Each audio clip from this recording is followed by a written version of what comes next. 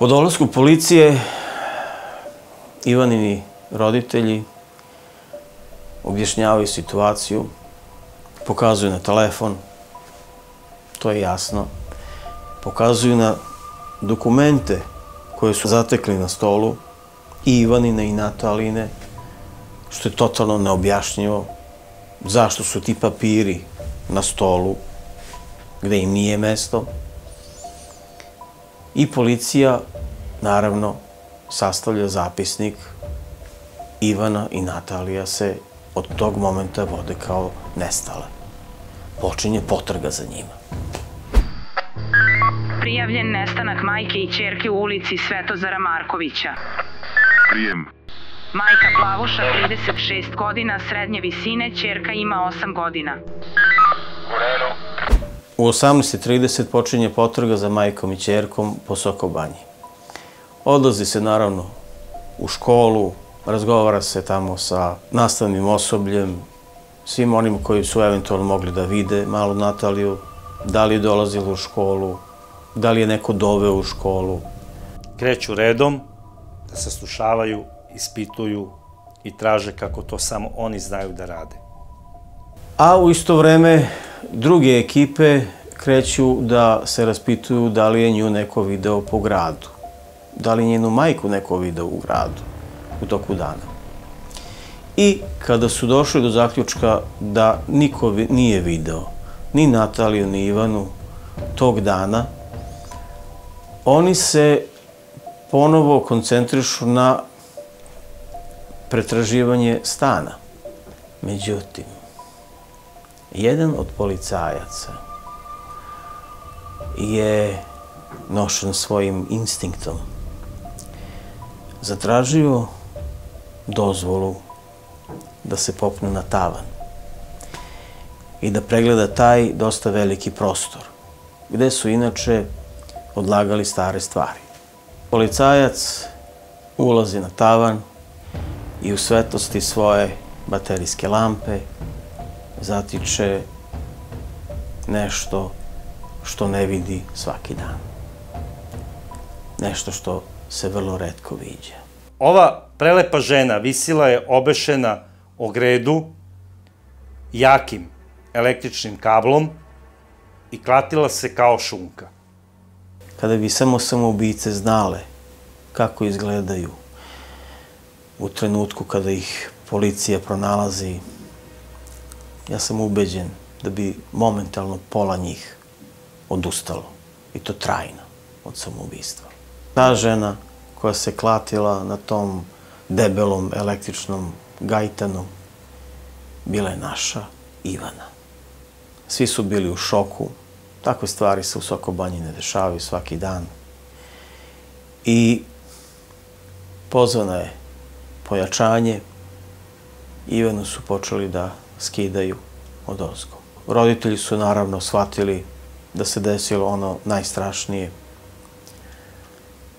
ono čega su se najviše plašili, jer svaki roditelj se potajno plaši da će on morati da sahrani svoje dete. To je najstrašnija noćna mora svakog normalnog roditelja. Odjednom je cela kuća puna policije. Počeli su detaljni pretres kuće, jer su bili ubeđeni da se negde u kući nalazi i telo nesrećne devojčice, što se na kraju ispostavilo tačno. I bilo je potrebno punih sat vremena i 45 minuta da policajci daju odgovor Gordani i njenom mužu Siniši šta se desilo sa njihovom Natalijom. U ormanu spavaće sobe pronađena je i mala Natalija. Bila je zadavljena produžnim kablom. Opet su bili u šoku. Još većem, još strašnijem, još užasnijem šoku. Na njenim doktićima bili su tragovi majčine kože. I ta borba male Natalije, borba protiv svog ubice, trajala je minutima.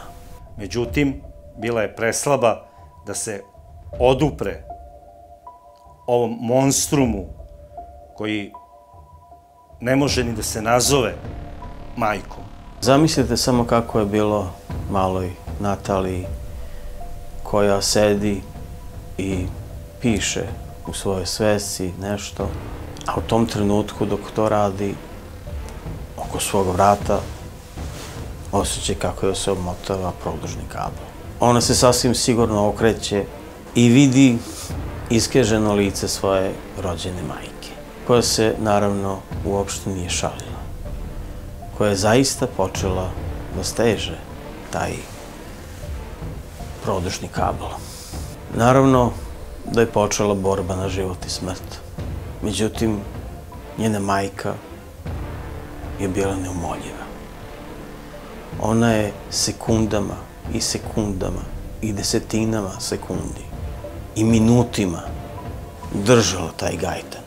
Majka, monstrum, je na svoj suludi put bez povratka povela i svoje dete, koje nije bilo voljeno s njene strane, već samo od strane oca.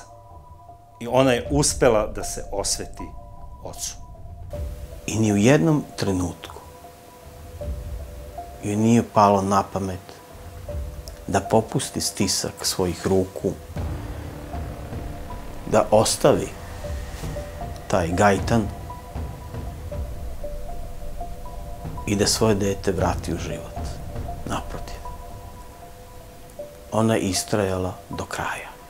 Onako raščupana, oznojena, izgrebanog lica, potpuno mirno uzela Ivanino telo i stavila ga u orman. Postavlja se pitanje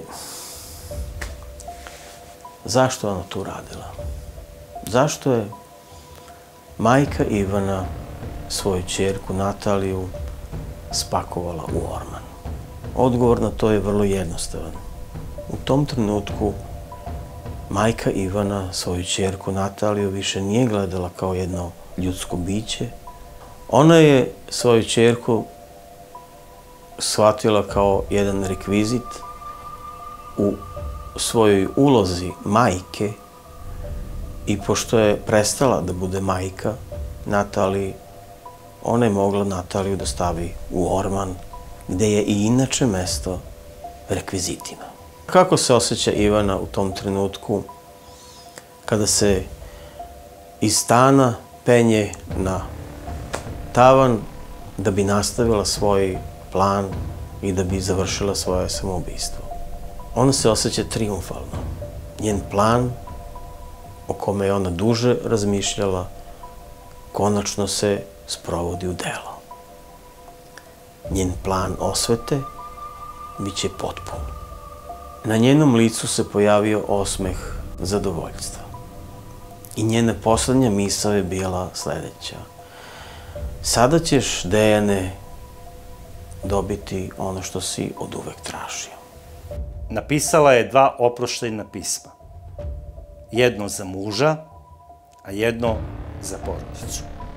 Mužu je napisala pismo, optužujući ga da je on njoj oduzeo život i da je on kriv za sve. Zato što je švaler... Kako je pokrao svu ušteđevinu koja je bila namenjena Nataliji i likovala je zbog toga što nikakva maćeha neće da se iživljava na njenoj čeriki. I da je on kriv i za smrt njihove čerke Natalije. A majci i ocu napisala je pismo u kome kaže da ona zna da im je ovim postupkom nanela bol. Oprostite mi roditelji što sam učinila ovo, ali utešite se mišlju da smo Natalija i ja sada na boljem mestu sa Nidžom, gde nam se ništa strašno ne može desiti. Ona je bila narcisoidni šizofrenik i smatrala je da svet postoji samo da bi ona bila voljena i da bi živela onako kako ona želi. Prilikom razgovora sa Dejonom, policija je došla do saznanja da je Ivana već u više navrata u razgovoru sa Dejanom spominjala i samoubistvo, a i ubistvo Natalije. Međutim, on te pretnje nije shvatao ozbiljno. Sasvim sigurno je da je majka Ivana shvatila svoju čerku Nataliju kao jedno otvolotvorenje emotivne ucene, kao živog taloca, sa kojim ona može raspolagati po svom nahođenju.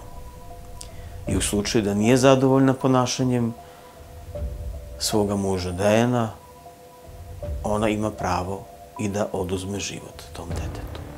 Ova žena monstrum je nekoliko dana posle toga sahranjena u Beogradu na centralnom groblju u organizaciji njenog supruga Dejana.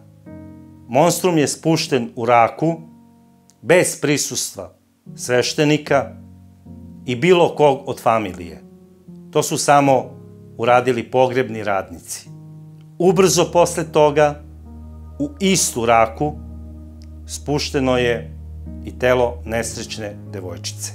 U belom kovčegu, sa gomilom cveća, uz prisustvu sveštenika koji je održao opelo, uz prisustvo oca, mnogobrojne familije i preko hiljadu ljudi koji su došli da isprate malu i nesrećnu Nataliju na put bez povratka. Bila je jednom jedna antička grčka princeza Medeja koja je pomagala Jasonu da lakše osvoji zlatno runo i naravno zaljubila se u njega i naravno imala sa njim decu, a onda je Jason pobegao od nje, pronašao ljubavnicu i onda je ona da bi mu se osvetila ubila tu svoju decu, zato što su ta deca bila i njegova. Eto, Ivana Majstorović je postala srpska medeja.